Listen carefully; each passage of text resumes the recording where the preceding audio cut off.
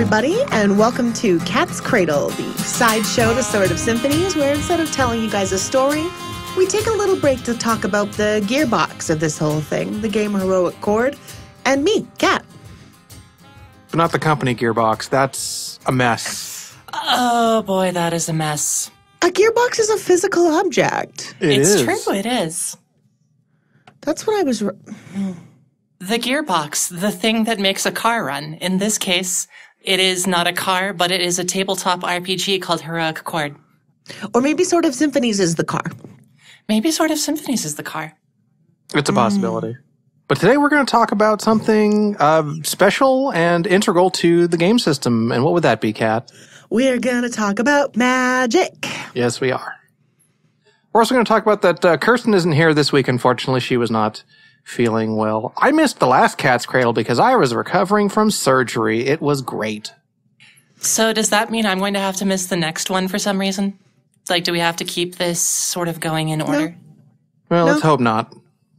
Yeah. I mean, I've always thought of Cat's Cradle as being a show I do with Kathleen, and then Nick and Kirsten might be there. So, Good enough.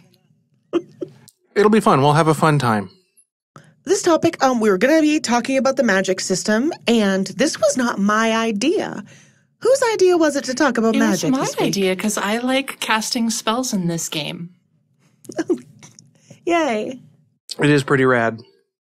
I'm all yours. What do you want to know? I don't know. I think it was uh, kind of like one of the first things I really atta- got attached to when um, you first sent me like whatever previous playtest version of Heroic Chord that we got that like really intrigued me was the magic system.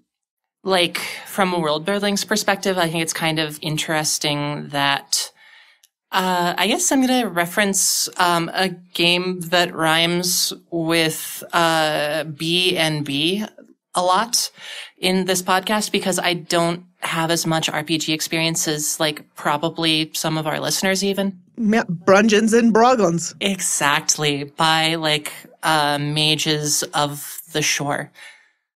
So like in that other game, you kind of have the idea that like uh magic comes from your connection to some sort of deity. But um I really like the idea that magic is this thing that like you tap into the world around you. Um and sort of like manifest and that doing so there's an exchange that you sort of like leave a little bit of yourself in the everything else that I thought was really neat but I also really like like the sort of free form way that it works. The thing is, it actually wasn't always this way. First of all, I've always loved freeform magic. My favorite kinds of spells, even in Brungeons and Dragons, has always been utility spells. I love spells that solve a problem, even if it's not necessarily a combat problem. My friend loves to tell a story of the time he and his party were fighting a hydra on a hill and he cast grease and the big dumb idiot fell down the hill and couldn't get them. And that's the kind of magic I love in role playing games because it encourages people to to think strategically and that's a blast. Mud to stone, stone to mud. Yes. Those ones are always excellent. Way back when I worked on Mod with Cabal Games, which was me and Kirsten and a couple of our friends, we had a freeform magic system for a couple of reasons. Partly because we loved the feeling of building our own spells. It's very exciting. And partly because I did not want to make a bunch of spells and have to balance a bunch of spells, and I'm profoundly lazy. Like said, bed and breakfast has balanced spells. yeah, that's a. You're right. No, if they didn't bother, why should I? Sorry, wizards, I love you, but um. so, it. I've always preferred freeform magic. It's more interesting to me that way. The first draft of Heroic Chord, before I even started showing it to my friends, I wanted people to be casting spells and using combat techniques kind of based on their bonds with other people. But I wasn't able to find a version of this that that didn't get too gamey.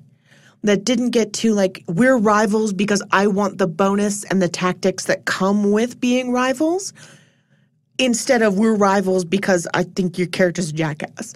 and um, I wasn't able to build something that sidestepped that artificiality in a way that I was happy with. So then I kind of stripped that down a little bit. And the version that my other playtest group started with had spells as strictly cooperative. Instead of uh, reaching out into the environment like our current edition, they were actually combining spell pieces from their lists in order to cast a spell. Oh yeah, And- that's right. I think that there was a little bit of that left to, over in the first version that I saw. Yep. Uh, th- yeah, the first version I sent you still had that in there.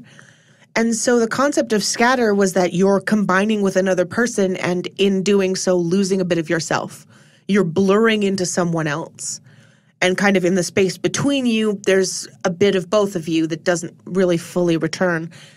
And I mean, I like the concept. I still love the concept. But what happened in gameplay was that instead of players being like, okay, what words do you have? Because I have like knife and you've got freezing, and together we can make like a cool ice knife. And it ended up people just straight up telling someone, hey, Kirsten, I need this word from you. So one person would be designing, like, would design a spell and then just kind of inform the other person what it was. And that didn't feel very co op in play. So if I can get to a spell system in Heroic Chord that retains that co op feeling and even adjusts to accommodate character relationships, I will be thrilled and it will absolutely go in the game pretty much immediately. You guys are going to have an overnight version overhaul when I hit on that.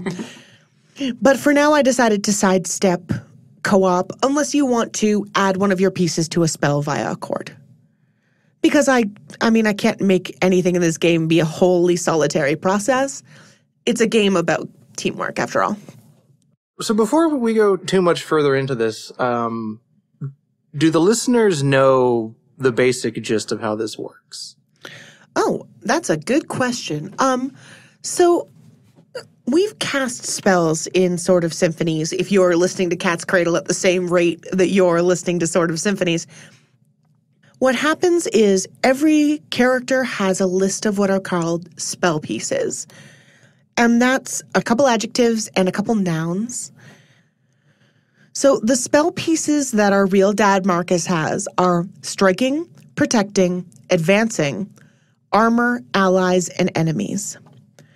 And a given location will have a list of spell pieces as well.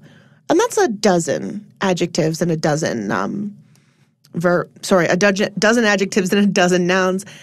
And the GM will pick, as you've heard me do in the podcast, a handful, depending on the kind of place it is. And then what the character will do is combine one of their spell pieces with one of the ones in the world around them to make an effect. For example, one of the Tundra keywords is destroyed. So if our real dad Marcus wanted, he could cast a spell called Destroyed Enemies. Then what he would do is he would bargain with me, the GM. I'm assuming here that he's not played by me, the GM, about what exactly Destroyed Enemies does. An effect that solves an encounter outright is going to cost a lot more scatter than an effect that just kind of gives a stepping stone to solving the encounter. So if destroyed enemies just straight up kills everything, then that's going to cost like seven or eight scatter. That's a that's a huge spell. If on the other hand, maybe he's up against a large swarm and it decimates a certain number of them, like one scatter per enemy it destroys, then that's a little bit more manageable. And so together the GM and the player decide what's an appropriate cost and what's an appropriate effect for the spell. And then it happens. Destroyed enemies sounds like some like OG Dragon Quest spell naming. a little bit. I just immediately I went down to Tundra after looking at Marcus's page. Like I cast hurt more. All right. okay, good. Excellent. Um Wait, wait. is is deep hurting a possible spell to cast in this game? I don't think so. I know that deep is one of the words. I know that deep is a nautical coastal word. I don't know that hurting is one. There might be an injury in there somewhere, so you, you can you, you can get a, a knockoff version. deep injury. Thanks, I hate it. So let's take a look. The spell piece is on a beckoning infiltrator. We don't have one of these in the party, but they're lurking, hunting, watching, knife, darkness, and me. So, a beckoning infiltrator could, if they were in, say, a nautical area, cast like um, irresistible me. Cast a spell that just kind of increases their natural charm or draws enemies toward them. Irresistible knife. Irresistible I don't, know, I don't knife. know what that would do, but you can cast it. you can absolutely cast it. Everybody everybody wants to buy your knife.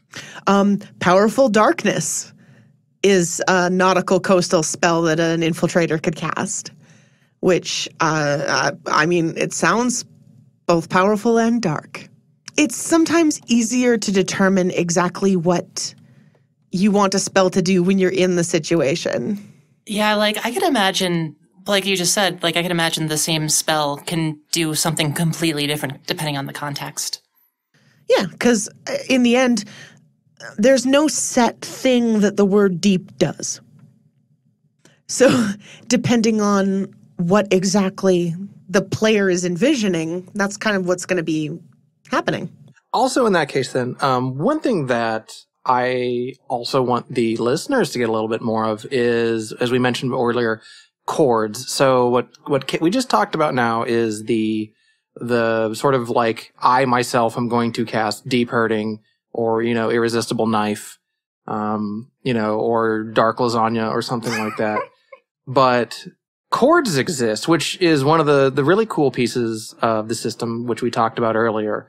But I do think chords, I think chords need a little bit more explanation because they're, they touch a few other systems in the game, which I don't know if we've actually gotten to in game yet. I mean, a couple of them we have. One of them is that um, two of my players in Sword of Symphonies are also in my playtest group and are used to having to cast spells with another person. And just kind of did that for the first couple sessions out of force of habit. If Kirsten wanted to defend herself, she'd be here. She, she is being attacked by, uh, I don't know, space vultures or something. It's true. Feel better, Kirsten. We love you. But um, so chords use, like a lot of the co op actions in the game, what's called memory points. And when we do memory time, okay, when we do memory time at the end of every episode, Fell, fell into it a little bit there. a little bit, yeah, force a habit, hey? Am I gonna have to like put half of the jingle? Ha! Just like a record scratch. I love that actually. Um, so, memory pieces are gained from memory time. When you share something that was meaningful or interesting to you, you gain a memory piece. Unless it was your spotlight chapter. And as of right now, we haven't done any spotlight chapters yet. Um, so, I'm going to go more into detail about those later on because they're kind of a big part of the leveling mechanic in this game but you gain memory pieces and they can be used for basically co op actions. Memory points can be used to add one of your own spell pieces to someone else's spell, forming a chord. You can add a success to someone else's roll as long as that roll involves a skill you've got. You can start an arpeggio, and that's something that we're going to go into another time. Arpeggios are kind of the um, kind of the physical combat manifestation of the magic mechanic, especially like the old magic mechanic. They're people working together physically in combat, Think of them like uh, did team up team up tech attacks from Chrono Trigger. or like baton pass in Pokemon. Eh, actually, yeah, they're they're probably a little bit more like baton pass.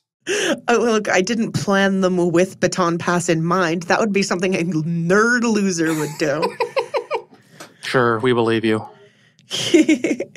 so I'm trying to pretend to be cool. You guys. You're doing an RPG podcast. No one's buying it. Okay. but but I, w- I will say that as a musician, the chord arpeggio name checks out because uh, a chord is a thing that is a big spell that happens using multiple pieces all at once, whereas an arpeggio is built up one step at a time. Oh, yeah. Usually when I say that was deliberate, I'm trying to cover for the fact that it wasn't. But no, that's exactly um, that's exactly what that was because all spells used to be chords because they always used to be cooperation. And so cooperation non simultaneously, well, I mean, a non simultaneous chord is arpeggio. So. And the last thing you can do with memory points is ret- restore two hit points or scatter to an ally. So memory points are kind of like a hero point mechanic or a luck point mechanic, except you can only use them to help other people.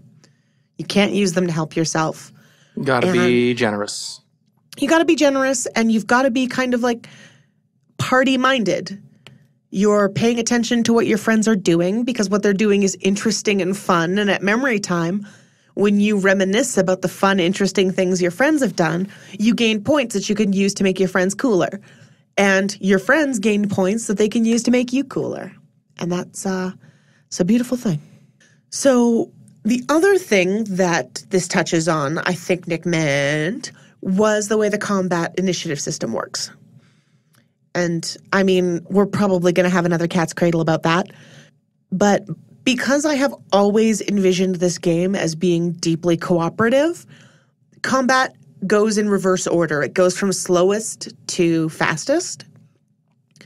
And anyone who hasn't acted yet can act pretty much whenever they please. So they can interrupt an opponent who's trying to attack an ally, or they can join an ally and help them on their turn. Um, because uh, whenever there have been co op spells in another game I have played, it's always been like, no, you hold on to your turn, you wait on yours, and then when my turn rolls around, we'll do it. And then maybe it doesn't work, or maybe there's something else I have to do. And doing it in reverse order just means, oh, hey, you're free. Let's cast a spell. Um, there's kind of a lot less uh, wrangling and waiting and thumb twiddling involved.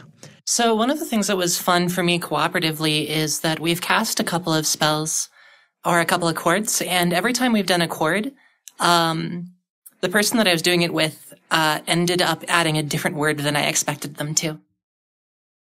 I'm I'm really glad that that's the way you guys have been playing it because that experience I had with my other group was like I didn't want a system where you were telling your allies what to do. So the way it's been going in Sword of Symphonies where someone's like, actually, I think I'm going to add dazzling. I'm like, well, well dazzling. like, I guess we're dazzling. I don't know that we've got real weird with chords yet, but we're also early in the campaign. So I would like to see how weird it can get. Oh, I'm sure we'll get there later on. Yeah, no, you guys are going to get real weird with it. I trust you. But uh, I will say the one thing, because it sounds like this was a pretty good sort of overview of sort of what you wanted there and other stuff. But the one thing that I thought was really neat that I wanted to touch on is the geomancy aspect of it, which we, we did a little bit, but um, the geomancy aspect was not there originally in the OG magic system that that uh, me, myself, and Kirsten, the other group, we got to play a little bit of it before the geomancy system uh, was was added, or I should say, the I guess the locational words, uh, the locational spell pieces. So why did those show up? I like them, but let's let's let every all the listeners know where. I mean, other than the fact that you're just a big like actual real world magic and occult nerd, why why why the geomancy? I mean, you're talking to somebody who studied Latin style geomancy, and it's actually much closer to like um, math. There's a lot of binary calculations involved in it, and very little actual attention to the world around you, which I guess is extremely Roman when you think about it. That's, uh, ancient Roman geomancy is extremely neat, but it's it's a challenge. The reason I settled on that was because, as far as I'm concerned, there are two major pillars in heroic chord. One of them is teamwork. It's important to me that the game is about people working together as a party, as partners, because the most rewarding D&D campaigns I've played have involved teamwork, have involved parties that become like close as family and who have each other's backs. and partly because um, when I was working on Heroic Chord, I was listening to a lot of actual play podcasts, and those always involve kind of a small party that ends up becoming quite close. And the other pillar is survival. At some point, and I can't remember exactly what train of thought led me there, but I remember that I was uh, sitting at the surveillance desk at my old terrible job when it occurred to me. I think I could dig out the notebook even. But survival is an important part of this game. And survival is about harmony with your environment, not necessarily in like a legs crossed lotus flower Zen Buddhism sense, but in an awareness of your environment and an understanding of your environment and a respect for your environment sense. So, since a spell system based on that first pillar hadn't given me the results I wanted, so it, I think it's only natural that I shifted to the second one. And Rangers were already kind of expected to have an understanding of their environment and survival skills because these are survivalists so uh, it just kind of shifted to the other leg, I guess, that the game has. I can go more into why that aspect of the game exists. I mean, yeah, I can do that. Well, then do that, nerd. You did. You, why I, are you thought like that, this? I thought that that answered the question. yeah. Why are you so hostile? Oh, Yeah. Because you were saying that you were just like, should I do a thing? It's like, we're on the podcast. Always do the thing. Kathleen Nick's bullying me. oh no. You know that I you know that I literally cannot bully you. That was the least convincing oh no I've ever heard from a human being. like that was, I, I need you to know. I I unfelt that one. so like um no, this is a magic conversation because a long time ago, again, when we were working on Mod, some of you may or may not be aware of that game. I think it might still be up on my uh, on my DriveThruRPG if you're curious about just like a real, real granular modular role playing system. But we did all magic in that game through skills. And so for me, whenever I was building a new setting or building a new hack for the game, it was always magic skills I returned to. And it was always like um, weird restrictions I would put on magic or weird pieces of flavor to put on magic. Once upon a time, I made an underwater setting. And I've been trying to make underwater settings for every game I've ever played since I was a preteen. My very, very first attempt at dungeon mastering uh, Bungeons and Bragans, um, I did very much want to build an underwater world. Um, that's always, always, always my goal. Um, I believe Nick can testify to my readiness to put jellyfish in literally everything. You do like them. I love them. I love them. I love them floaty bastards. The one that I built for Mod, though, had different types of magic based on what uh, depth you were at. And so, like, the very, very deep magic was the stuff that, like, warps things and twists things. And the surface magic was, like, brightness and damage and danger. And, um, so that was kind of my first playing around with the idea of magic that changes based on uh, geography, based on where you are physically, related to these kind of arbitrary landmarks. And I started playing around with the idea of magical landmarks that affected uh, people's magic. And I put it away. I never actually went anywhere with it until I was doing the very, very early stuff in Heroic Chord. And I realized that that was an idea not only that had really stuck with me, but that I had never actually done anything with yet. So having these magical landmarks kind of naturally lent itself to um, survival in remote areas. I think it was either that or something very Ravnica, where the entire world is a city. And I mean, I love Ravnica, but that wasn't really where I felt like going. I guess uh, I'm a creature of whimsy, and I felt like I felt like going wilderness with it. And so That's kind of where the Daoliths as a concept came from. Was this old discarded idea of magical landmarks, and instead of having magic change depending on how close you are to one, having magic bestowed on people as a reward for having reached one was uh, was where this one wound up. Is there anything else then that you want to talk about about the magic system and where it's coming from? I think uh, my sort of the things that I thought were really cool that the listeners at home might want to know more about. We've gone over. Mm. Um, Kathleen, is there anything else that you want to that you're dying to know? I don't know. Like I've got I've got actually some setting questions. Okay. Well, I mean, do we want to yeah. do setting questions as part of magic, or do we want to save them for next time? Are these questions about how magical the setting is? They're they're about like yeah, they're about ma- the magic in the setting and that sort of thing. Okay, yeah, absolutely. Far away. That's great. Lots of magic systems make a thing where it's like magic takes a toll on your body. Um, but scatter is sort of a direction where it's like, um, it's not so much taking a toll on your body as it is your spirit, but there's this kind of physicality to the idea that like you cast a spell and that leaves a part of you out in the ether. And how did you sort of come up with that direction to take it? Uh, okay.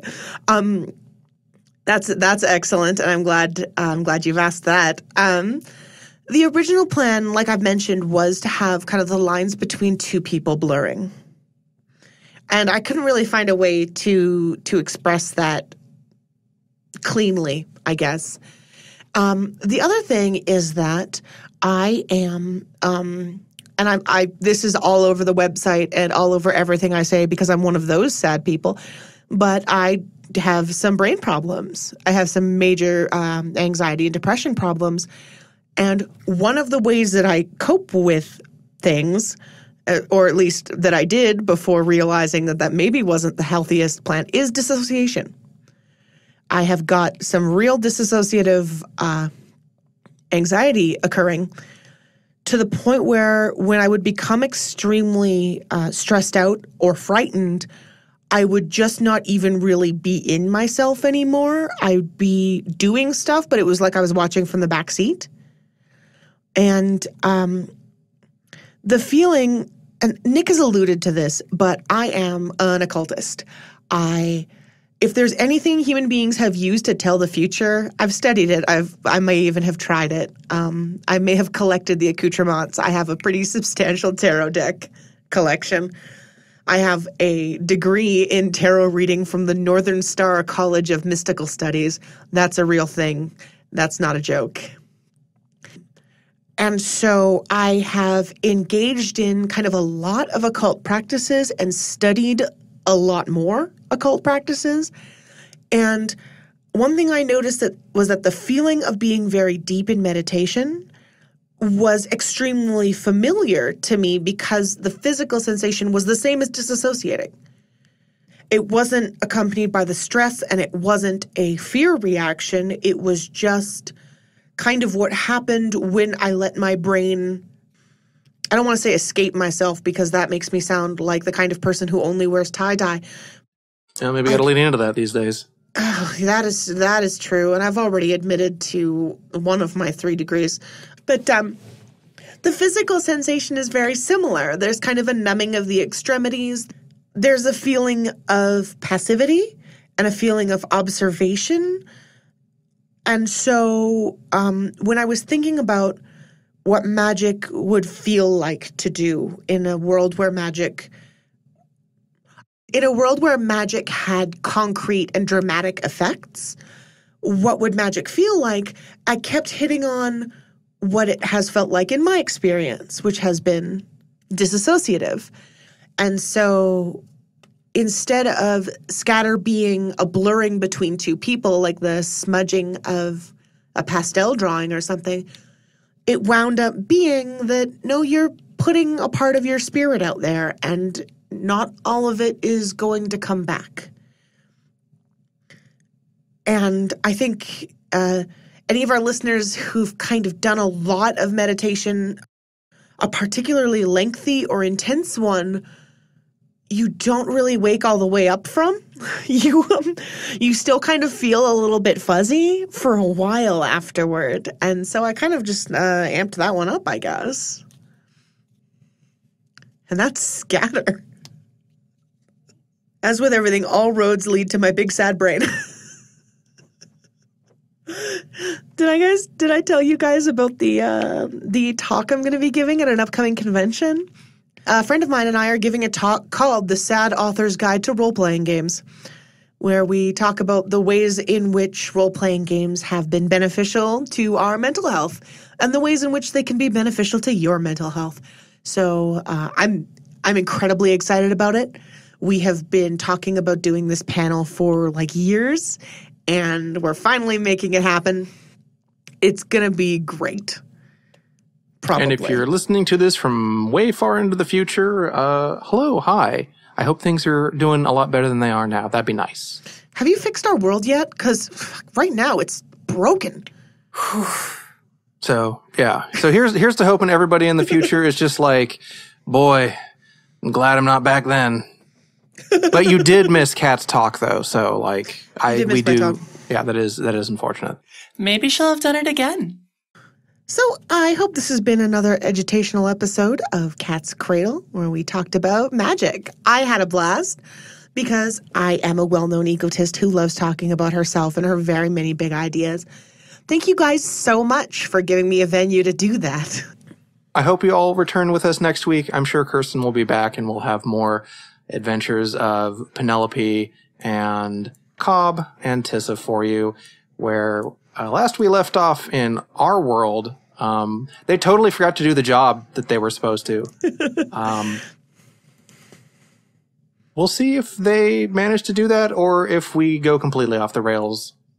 And if you've got any questions for a future Cat's Cradle, or if you've played the game and want to give us some feedback, or if you're just having a real great time, you can contact us with the contact form located on peachgardengames.com, or you can track us down at Peach Garden RPGs yeah, let us know.